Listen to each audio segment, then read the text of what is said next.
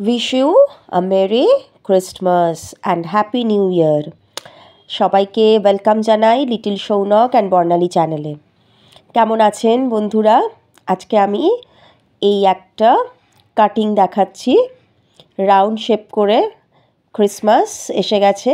এই ক্রিসমাসে আমরা এরকমভাবে রাউন্ড শেপ পিচবোর্ডকে কেটে নেব।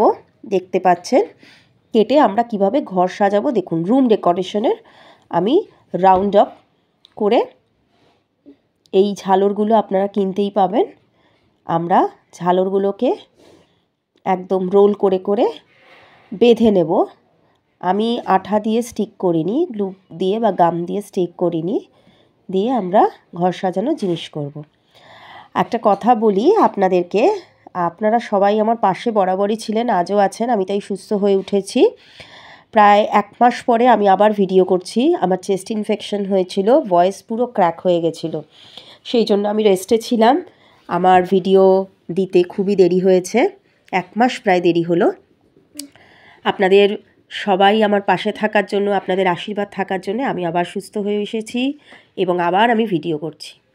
আপনারা দেখতে থাকুন, আমি আজকে বানাচ্ছি ঘর সাজানোর রাউন্ড আপ এইভাবে রোল করে কেটে নেওয়ার পরে কাট আউট করে নিয়ে আমরা এই ধরনের স্টেশনারি দোকানে আমরা পেয়ে যাব এই ধরনের ঝালরগুলো। চকচক করে যেগুলো একটু গ্লসি এগুলো দেবেন। দিয়ে আস্তে আস্তে করে আমরা রাউন্ড আপ করতে রাউন্ড আপ করতে থাকছি। এইভাবে দেখুন ক্যামেরাটা ক্লোজে আছে। একটা একটা করে ক্লোজ করতে থাকি।